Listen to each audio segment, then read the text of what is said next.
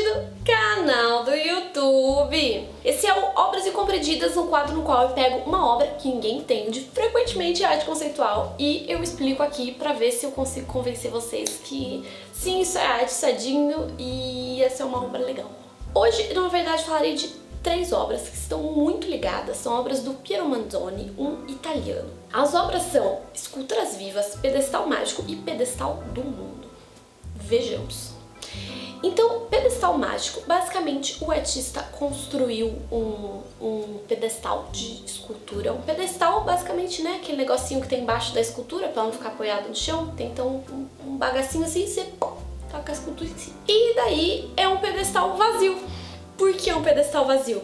Porque ele convida o espectador a participar da obra e quando você sobe ali, você se torna uma escultura, ou seja, um pedestal mágico, um pedestal que tenha capacidade de tornar qualquer um que suba dele uma escultura viva, não é? Então, é algo muito interessante porque ele está questionando o que é arte, o que pode ser arte. A arte dá para ser viva?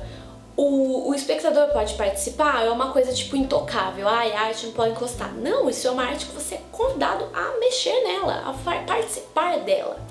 E daí tem muito a ver com outra obra que ele fez, as Esculturas Vivas, que na verdade ele pegou e assinou seres humaninhos, tipo, né, assinando mesmo ser humaninho, e esses seres humanos, a partir de então, passam a ser uma obra de arte viva, somente com a assinatura do artista, não é? Como é o caso que a gente já falou, tipo da fonte do Duchamp, que ele pegou o mictório, assinou e com essa escolha do material e querendo dizer algo, assinando aquilo, aquilo se torna arte. Do mesmo jeito que o Duchamp, ele questiona o que pode ser arte e desse poder do artista, quem pode fazer arte. A assinatura do artista é o suficiente para transformar algo em arte? São obras bem lúdicas, né, que é, é legal que convida o espectador a, a pensar, mas de uma maneira engraçada. Então você não precisa ser um super apaixonado da arte, entendido assim, pra achar essas obras engraçadas. E assim é legal para exatamente trazer o público leigo para quem sabe se interessar mais por arte, por arte conceitual, arte contemporânea e tal.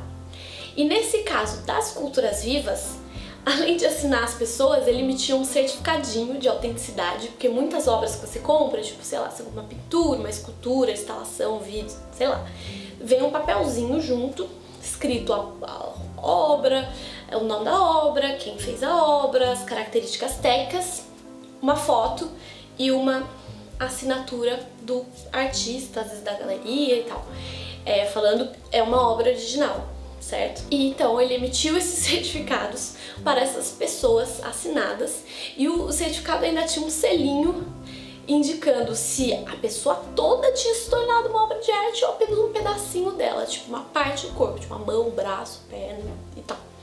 Então é um negócio realmente bem lúdico, mas que tem todo, todo esse pano de fundo de questionar o que é arte, quem é o artista, quem pode ser artista, quem pode fazer arte, são todas questões, na verdade, muito curiosas e que estão sempre atuais, né? Porque até hoje a gente pode continuar falando sobre tudo isso e continuar se perguntando o papel da arte, porque assim a arte não fica chata, né? E a outra obra ligada a essas duas é a Pedestal do Mundo, que ele pegou um pedestal do mesmo jeito que ele fez com o pedestal mágico, só que ele foi lá e virou ele de ponta cabeça para baixo.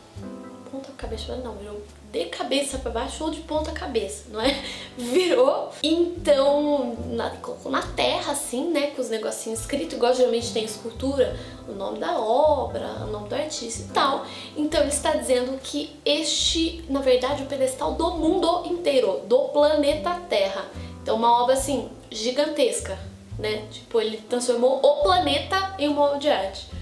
Fala se não é louco. Além dessas questões que eu já falei sobre o papel da arte, o que é arte, quem pode ser artista, o que pode ser arte, é interessante notar que essas são todas obras que propõem transformação, não é aquela obra intocável que vai ser sempre exatamente a mesma. São obras que mudam, que estão sempre trans, em pura transformação, que né, o planeta, a obra de arte gigante que ele colocou ali, né, que transformou o planeta numa escultura gigante, o planeta muda ser humaninhos que estão em cima do pedestal assinados mudam, né? A, a, a caneta que ele assinou provavelmente vai sair, que eu saiba, ele não tatuou a assinatura. Então são obras em permanente transformação, o que é outro questionamento interessante que tem muitas obras de arte efêmera sobre, a qual, sobre as quais a gente ainda vai falar aqui no canal, que com a arte contemporânea vieram até algumas obras da arte moderna, mas mais forte na arte contemporânea, essas obras de arte efêmeras. Então, obras de arte que já foram pensadas para não serem eternas, para não ser tipo a Mona Lisa que tá lá há 500 anos e querem que ela fique para sempre. Não, uma obra que realmente existe no momento, mas que com o tempo, por diversos motivos, ela vai acabar. Então é um tipo de obra muito interessante sobre a qual a gente ainda vai falar neste canal. Espero que vocês tenham gostado dessas obras do Piero Manzoni, é um artista conceitual que eu super adoro e provavelmente falaremos mais dele ainda neste canal. Se vocês tiverem algum outro pedido de obra sobre a qual vocês gostariam que eu falasse, deixa aí nos comentários. Segue aí nas redes sociais, se inscreve no canal. E é isso aí. Beijinhos e até a próxima.